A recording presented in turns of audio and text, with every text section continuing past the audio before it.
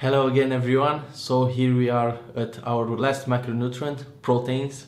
Proteins are well known because they are also used as supplements. We will cover the supplements in the next video so stay tuned for that also. But until then, let's begin with the basics.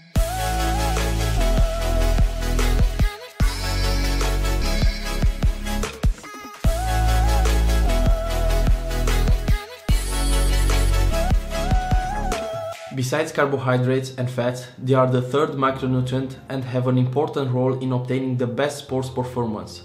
The same as carbohydrates, they have 4 calories per gram. The role of proteins. They create new tissues and maintain the existing ones. They have an energetic role, 4 calories per gram. They maintain the water balance and they also have a role in immune system. The animal sources for proteins can be found in meat like chicken, fish, beef, pork, turkey. They are also found in eggs, milk, yogurt and cheese. The plant sources of, are found in beans, chickpeas, lint, nuts, almonds, peanut butter and soy. Ingestion. The quantity needed for the normal individual that has no physical activity is 0.8 grams per kilogram. For the team sports or individual sports that don't require too much force, 1.2 to 1.5 grams per kilogram. The ingestion for the power sports, such as bodybuilding, the amount is between 1.7 and 2 grams per kilogram. The highest need for protein is after the workout when the anabolic window is opened for the first hours. The main objective for individuals is to stop the catabolic state established due to the effort. Amino acids. The building blocks of proteins are the amino acids. They form the proteins and are divided in two categories Essential amino acids, they are not found in our body, they can be obtained only by food ingestion, and non-essential amino acids, they are found in our bodies and they can be synthesized. 20 different amino acids are required by the organism to produce proteins. They can be obtained from three different sources food ingestion, protein degradation, and synthesized within the body.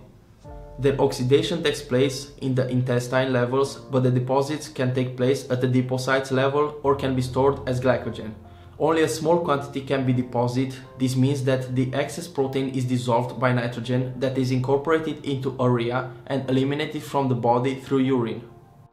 Fact Protein is essential for life. It is crucial to cells in the body playing a key role as enzymes in a cell.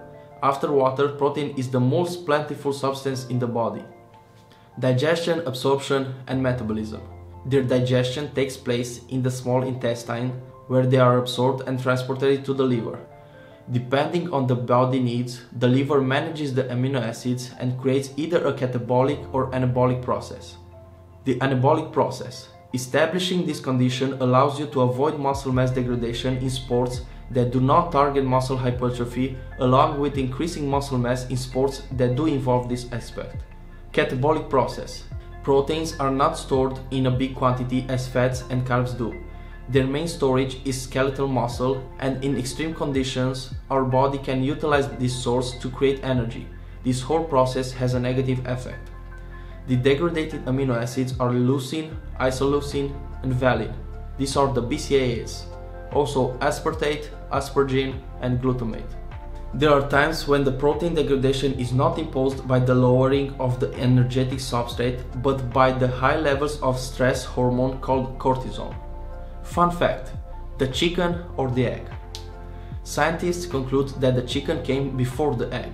This is because the protein which makes the eggshells can only be produced by hens. Protein losses. A value between 15 and 20% from the total daily ingestion is eliminated in the form of nitrogen and between 30 and 40 grams eliminated through feces. Protein losses and decreased protein synthesis can occur due to unfulfilled calorie needs for a medium period of time. Protein classification complete proteins that have essential amino acids in their structure and can be found in animal sources such as meat, eggs, yogurt, milk, and cheese. Incomplete proteins that have less essential amino acids and can be found in plant sources such as cereal, legumes, nuts, soy. These proteins can become complete if they are ingested with an animal source protein or are combined with the right plant source proteins. As a conclusion, we would like to point out the fact that proteins are very important but not more important than carbohydrates or fats. Each and every macronutrient has its role and is very important by its own. So don't forget of either one of them. Okay guys, so this was our last macronutrient, proteins. If you didn't saw the previous videos with carbohydrates and fats, check the links below. And stay tuned for a lot more videos about nutrition. The next video I think it will be about supplements. If you don't want to miss them, be sure you like and subscribe. See you guys in the next video. Bye! Because it's its, its own... It's a well-known macronutrient because... Well consumed. Because it's also consumed, consumed as... Nu știi să vorbești. And they maintain the existing... They're derived... Derived. Incorporated into... That is incop... Urine. I urine. Urine transported it to the liver. Transported it. It's transported. Doamne ferește. Substrate by, by the by, by, by, from the total daily daily cereals, legumes, legumes. Auzi că legumes.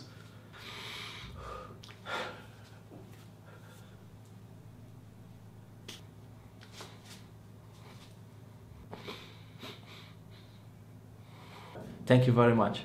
Very, very. Thank you very much.